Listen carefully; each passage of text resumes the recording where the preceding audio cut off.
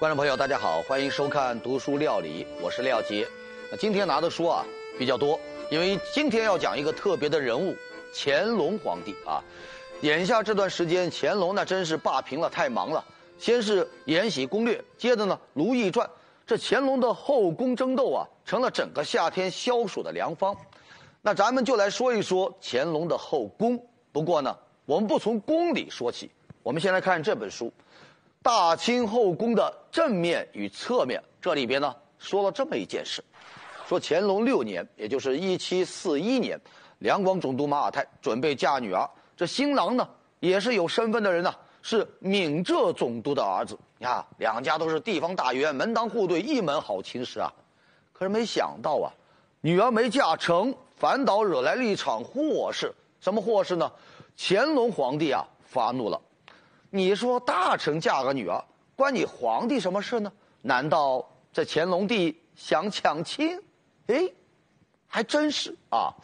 按照清宫选秀女的规定啊，八旗女子十三岁到十六岁啊，都必须得参加选秀。你落选的方可以嫁人。如果选秀期间生了病不宜参加，那就等个三年，下一届啊养好身体再参加。你要是胆敢私底下嫁人，那就是重罪呀！总督马尔泰那女儿已经十七岁了，可能是选秀女的时候啊得了病没参加，那得接着等啊。可那年代呀，女孩十四五岁就准备出嫁了，你再等下去呀，那就等成一个大龄剩女哦，嫁不出去喽。这马尔泰心里着急呀，就给皇帝呢上了一道奏折，先是狠狠地拍了一通马屁，夸赞了一通吾皇英明。最后呢，嘿，小机灵提了一个小小的请求，就希望皇上啊允许我把我们家不成器的大龄剩女给嫁出去。本来嘛，这小事一桩，你皇帝后宫是嫔妃成群呐，也不差这一个呀。可是没想到啊，皇帝啊，乾隆发火了，说马太，你们家女儿没参加选秀就胆敢嫁人，你还有没有良心啊？马尔泰赶紧解释啊，这不有特殊情况吗？错过了选秀，我也不想啊。当然了，刚刚说的这些都是通过奏折呀，一来一回的，他们并没有当面说。这乾隆就不解气呀，下旨说：“你什么也别解释了，赶紧来北京，我要当面训斥你。”你看啊，为了一个从没有见过面的女子，乾隆皇帝发这么大脾气。那也太小家子气了呀！人家好歹也是一方总督啊，你就不能做一个顺水人情，让臣子也感恩戴德一回？可是呢，在乾隆看来啊，你不参加选秀，直接嫁人，不但坏了祖宗的规矩，你更是藐视我的皇权，是可忍，孰不可忍呐！这清朝选秀女啊，是三年一次啊，是官方出面，户部主持的。那八旗的适龄女子呢？都必须得参加，另外呢，还有一个选宫女，那是一年一次，是宫廷内务府来主持的。《延禧攻略》里的魏璎珞，那原型呢，就是乾隆的令妃魏佳氏，她呢，算是一个汉人，她怎么也能进宫呢？原来啊，参选的八旗，包括八旗满洲、八旗蒙古、八旗汉军，一共啊，二十四旗。这令妃呢，既是汉人，她又是旗人，所以呢。有资格参选，因为有了选秀制度，那清朝旗人家他们家的女孩子啊，在家里那地位高啊，未出阁的姑娘啊，都被尊称为姑奶奶、姑奶奶，就指不定哪一天呢，她成了皇帝的宠妃，咱全家老小就指望她飞黄腾达哦。当然了，也并不见得所有人家都希望能被选上，你比如哈，说道光年间。有这个河道总督叫林庆，他们家的闺女呢落选了，被撂了牌子，他哥哥呀那真叫一个高兴啊，当场做了一首诗，诗名就叫《贺大妹子撂牌子》，那喜悦之情是跃然纸上啊。所以呢，就算有什么攻略，进宫当皇帝的女人也不是人人都艳羡呐，毕竟嘛，一入宫门深似海呀。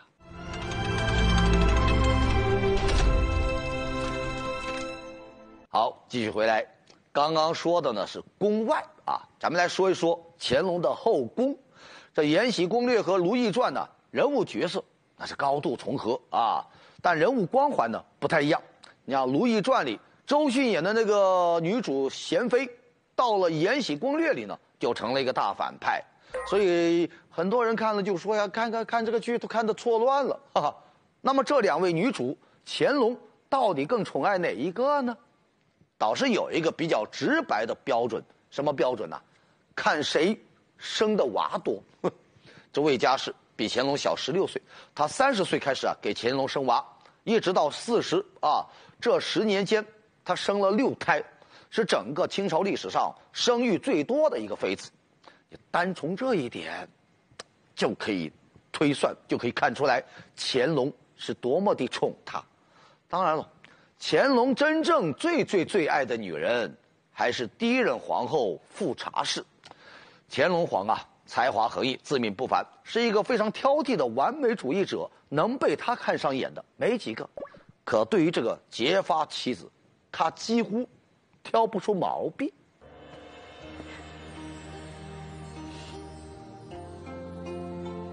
朕都知道，皇后豁达大度，仁慈宽厚。朕甚至在你身上都找不到丝毫缺点，朕也未能有你这样的贤后而感到自豪。在《延禧攻略》里，皇后多么的贤惠，两个人是多么的恩爱，那是演了很多了，我们就不细说了啊。咱们单说一说富察皇后的死，电视剧里呢。说这个富察皇后啊，是因为伤心自杀的啊。自杀之前呢，还有一段很长的独白，但历史上啊，她呀是病死的。她的死啊，不仅给乾隆皇帝带来了悲伤伤痛，甚至呢，都波及到了整个朝廷。我们来看另外一本书，叫《饥饿的盛世》。这本书里面就说到哈。表面上，这个乾隆帝啊，伤心一阵子之后呢，还是依然照常起居办公。皇后的去世好像没影响到大清帝国的运转。但是，咱们说古往今来，几乎没有一个皇后的去世能像这一次成为官场的一场灾难，在整个国家引发这么大的变故。皇后去世一个月，皇帝翻看翰林院写的这个皇后册文呐。发现用错了一个词，这其实也不是什么大不了的事啊。但乾隆勃然大怒啊，把管理翰林院的尚书呢给治罪了呀。哎呦，这刑部一看皇帝这脸色，赶紧重判呗，判了一个绞监后。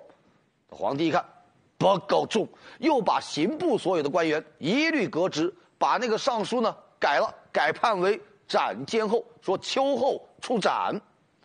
这消息传出来，全国的官员是大惊失色。这还仅仅是个开头呢。悲痛当中的皇帝，对什么事都横挑鼻子竖挑眼。你看，皇后的册宝，他认为不够精良，配不上皇后的尊贵，公布全体问罪。还说呀，祭礼的那个桌子啊不够干净，又把负责祭祀的光禄寺的官员，通通降职。又因为给皇后册封谥号的时候啊，礼仪上出现了一些纰漏，那对不起，礼部尚书被降级，这还没完呢。说清朝不是扎辫子吗？十天半个月得剃一次头啊。按照满族的旧习啊，皇帝皇后丧事期间，这官员呢，这个一百天之内啊，最好是不要剃发，就表示自己只是悲痛啊，悲痛的不得了啊，顾不上剃头啊。不过呢。这是一种不成文的风俗，没有明文规定，没有硬性规定。你说当年，雍正皇帝去世，很多官员剃头啊，这朝廷也没有追究啊。哎，这一回不一样啊，皇后去世，那很多人照样剃了头吧。但这一次真不一样，皇帝发现之后暴怒，认为你这是对皇后的大不敬啊，把剃了头的官员一律处死。但后来调查发现，那太多了。全国到处都是啊！你总不能为了剃头把所有的官员都杀了吧？于是呢，就处理了几个官比较大的，什么河道总督、湖广总督被赐自尽啊，还有湖南巡抚、湖北巡抚革职。不仅是官员，这乾隆连他们家自家孩子啊都看不顺眼了。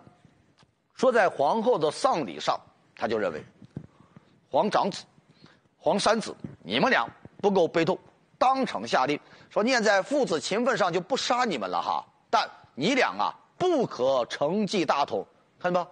直接剥夺了他们俩竞争皇位的机会。你说这哥俩冤不冤？在这一场风波当中。受处分的官员从大学士、总督、尚书、巡抚，一直到基层干部，这官场啊，莫名其妙就刮起了一场大风暴。各级官员这才醒了过来呀！原来以前那个宽厚仁慈、温和儒雅的皇帝，也有喜怒无常、残酷冷漠的一面。果然是雍正的儿子，雍正的惨烈无情，他都给继承了下来呀。心理学家呀分析说，处于丧偶期的人呢。他们就希望所有的人都能够体会到他同样的悲痛啊！当人们不理解的时候，这个情绪啊就会出现很强烈的波动。乾隆皇帝在极度的悲痛当中无法控制自己，不加节制释放他内心的狂暴，但其实，这就不单单是一个丈夫在宣泄这个悲痛，更像是无上的皇权在释放他无情的很大的。破坏力呀！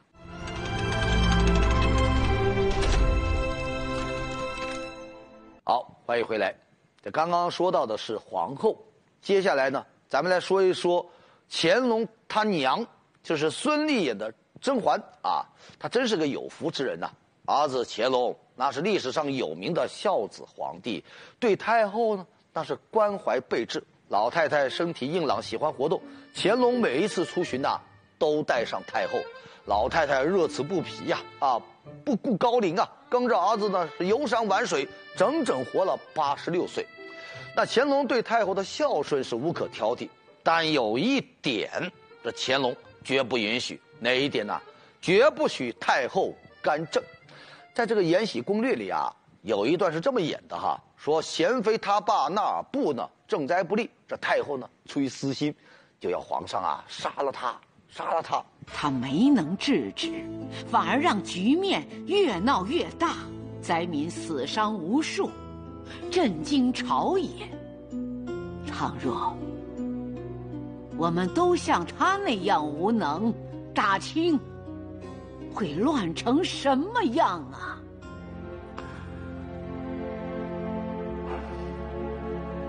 皇额娘。是想让朕杀了那儿不？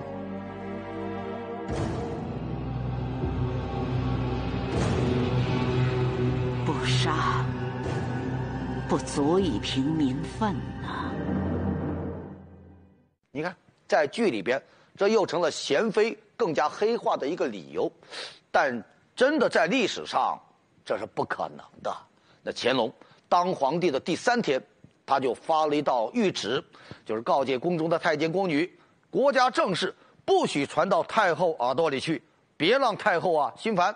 那意思就是说，要让太后跟政治呢绝缘。说有一次哈，太后跟乾隆聊天，说顺天府东边有一座庙呢很灵验，年久失修，快要塌了啊，希望啊乾隆拨点钱给他修一修。乾隆倒是满面笑容答应了。但随后啊，就下旨，严厉斥责太后身边的太监。你看，表面上是罚太监，实际上啊是罚给太后看的。老太太从此呢就长了记性了，再也不干政了。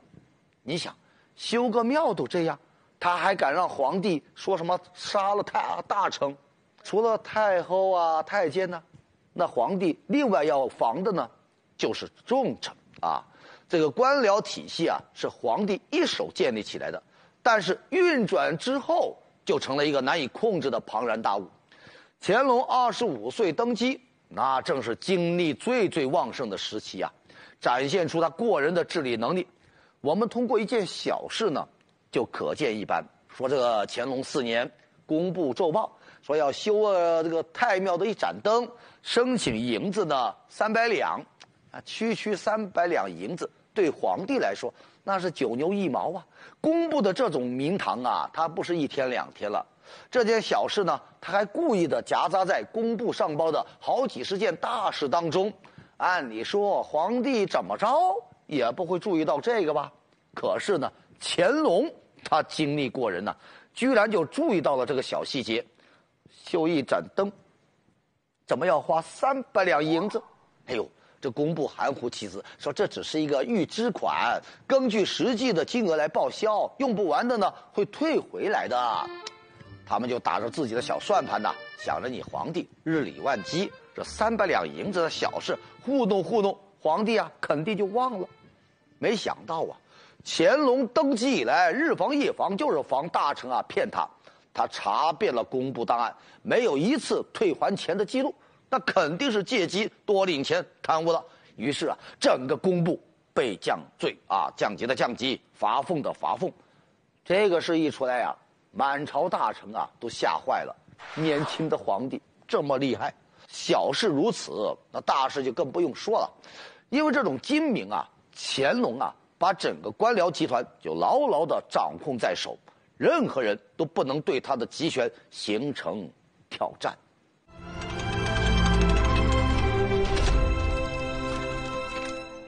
好，欢迎回来。前面说这个乾隆对这个大臣啊、太监呐管得紧。对他们家太后呢也防得严，集权力啊于一身，可以说是历史上最自负的帝王，没有之一。他自称是十全老人啊，说到了晚年，乾隆啊特别看重他在历代帝王排行榜上的位置，什么秦皇汉武啊、唐宗宋祖啊，跟他们要比什么呢？比疆域，比人口，比政治安定，比军事成就。哎呦，哎，都不如我啊！我们说一件比较有趣的事哈，乾隆四十九年，他下了一道不同寻常的诏书，把他的长孙呢封为固山贝子。这是之前呢，这个长孙因为私下底啊跟这个官员交往，犯了皇帝的忌讳，被贬为庶人。哎，如今突然又被封，这长孙是立了什么大功劳吗？没有，因为什么呢？因为这长孙呐快要生孩子了，在皇室生小孩也不是什么大事啊。但这个不一样，这个即将出生的小孩呀，如果是个男孩，他就算得上是乾隆的第一个玄孙，那也就意味着乾隆五代同堂啊！哎呦，这孩子争气啊，生出来男孩，乾隆激动啊！那激动了怎么办呢？写诗，哈哈，他就在诗里啊大发感慨，说历史上诸多皇帝有哪一个像我这样有玄孙的呀？看见没有？原来啊。他最最看重的是在吉尼斯世界纪录上，他爱新觉罗弘历有了一项新的吉尼斯纪录，他成了古往今来第一个五世同堂的皇帝。你看这老头挺可爱的哈，哎，这个呢，不过呀，酷爱争第一名的这个乾隆呢，有一个第一啊，被他硬生生的错过了，什么呢？他本来有机会成为第一个。接受现代文明的皇帝，说乾隆五十七年，乾隆接到两广总督的奏折，说有一个叫英吉利的国家啊，送信过来，准备给皇上您老人家贺寿。信里说，去年皇帝您八十大寿，他们知道的晚了，很抱歉没赶上。人家英国国王啊，心中十分的不安，想给咱皇上啊补一个生日。大清朝。知道这个欧洲有不少国家，什么法兰西、意大利，从来没听说过这个英吉利呀。这一回人家主动来贺寿，信又写的这么诚恳，这么的恭顺，那乾隆自然是开心，准，哎，于是啊，一七九三年，英国外交使团来到中国，这个使团的团长啊叫马格尔尼，他是一个中国迷啊。这马团长啊，一辈子最向往的事呢，就是能去中国。不过呀，他到了中国就遇到了尴尬了。这个清朝的官员是要求啊，马格尔尼，你觐见皇帝呢，必须得三跪九叩。在马团长看来，文明国家的外交那是平等的呀，怎么能跪地磕头呢？可是，在清朝看来，你们是来朝贡的，见了咱天朝上国的皇帝，怎么能不下跪呢？嘿，这双方鸡同鸭讲，不在一个频道。这觐见的礼仪啊，闹得是很不愉快呀。最后呢，各退一步，英国人同意单膝跪地，这才得以见到了皇帝。我们来看这个图片，这呢是乾隆接见马嘎尔尼的场景啊。这图片上啊，一个英国小孩啊单膝跪地，这乾隆看他可爱，就把随身的荷包呢赏给了这孩子。可是乾隆啊不知道，眼前这个英国小孩将彻底改变大清的国运。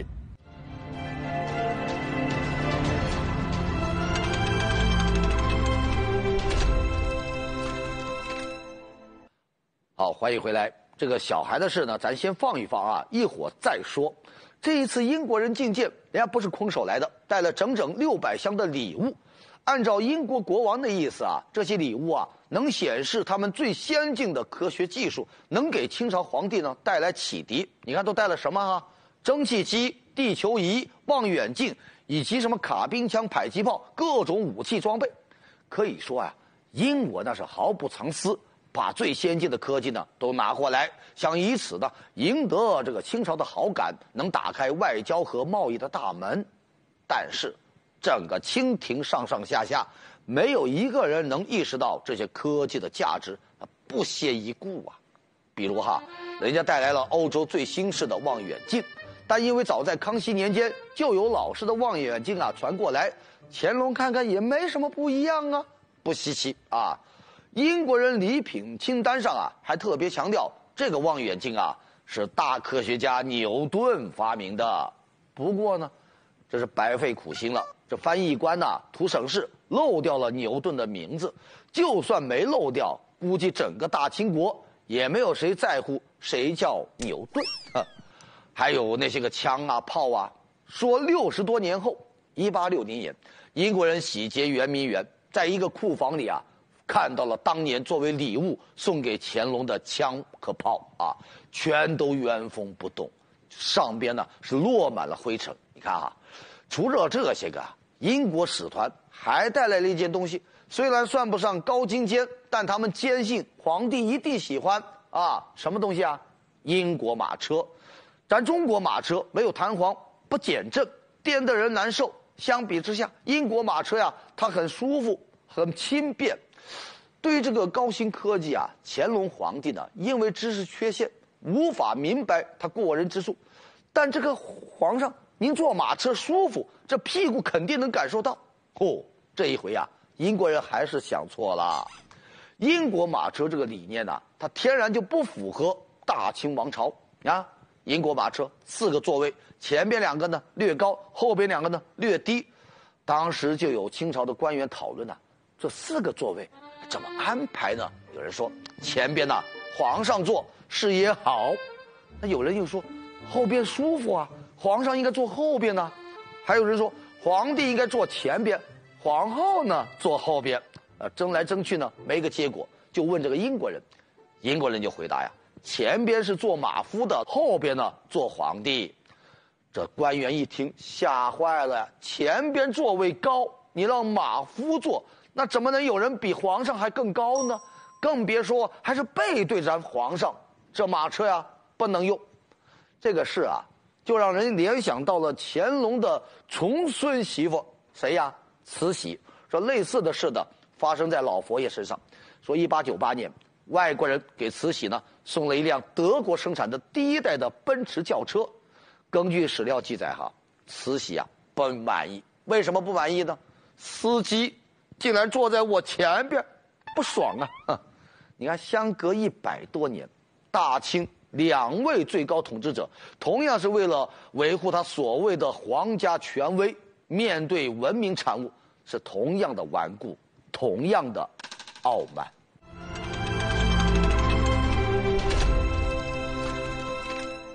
好，咱们再说回到这个一七九三年啊，对英国来说呀，马嘎尔尼这使团呢，那算得上是外交失败，但对大清来说，何尝又不是失败呢？英国给大清打开了世界的文明窗口，送来了文明阳光，但大清呢自我隔绝，继续封闭。更严重的是啊，清朝的国情啊，让英国人看了一个透彻。咱们要知道哈，自打马可波罗把中国介绍给欧洲，欧洲对中国那是顶礼膜拜呀，非常的向往。他们常用的句式呢，都是这么说话：当中国怎么样怎么样的时候，在欧洲还怎么样怎么样，满脸都是向往啊。你比如法国思想家伏尔泰就曾经说呀：“欧洲人应当成为中国人的徒弟。”可是这一回，英国人惊讶的发现，跟传说当中的遍地黄金啊相反。大部分清朝的人呐，都生活在穷困当中。更要命的是啊，清军的战斗力被对方一眼看穿了。在这个使团来的路上，乾隆还特别交代，要让英国使团见识见识咱大清的军力，就举办了声势浩大的军队操练。可是马团长发现啊，士兵衣冠不整。武器装备都是什么大刀长矛这些个冷兵器，仅有的几支火枪，他早就落伍了。所以回到英国之后呢，他们就把各种见闻呐写下来发表，在欧洲引发了巨大的反响。他们对中国的观念那就发生了一个根本性的颠覆。中国从天上掉到地下，从文明变成了野蛮。所以我们再来看另外一本书啊，这本书就比较沉重了。那一次我们挨打了。前面我们说到乾隆赐荷包给了英国小孩啊，他呢是英国使团副使斯当东的儿子。这个小斯当东啊，那荷包啊一直保存皇上给的呀。因为这个经历呢，他一直在学这个中国文化。二十多年后，他成了英国的一名议员，在英国发动鸦片战争的过程当中，就是他起到了决定性的作用。一八四零年，英国下院进行了一场辩论，说要不要向中国呀派这个远征军。这个漫长的辩论呢，一直没有一个结果。后来呢，这个小斯当东发言呢，就引起了重视，因为他去过中国见过皇帝，他的意见呢就很受关注。小斯当东啊说，以他对中国皇帝的了解，谈判是没用的，战争是不可避免的，必须动用武力。这个发言，那真是。至关重要，在后来的投票当中，主战派以九票微弱优势压倒了反战派，这才最终引发了鸦片战争。乾隆盛世被认为是古代中国的巅峰，GDP 占全球三分之一，国库充盈，四海沉浮，但光鲜的外表却掩盖不了内在的腐朽。乾隆的统治那是达到了集权的巅峰，沉醉在天朝上国的迷梦里。面对外部世界文明的发展大势，整个帝国茫然无知，就错失了主动融入世界的机会。有人曾经做过一个假设，说面对当时的世界大变局，如果乾隆专制统治不是那么的严密，不是那么的铁板一块，那现代文明极有可能在那个时候就进入到中国。只不过，历史没有如果。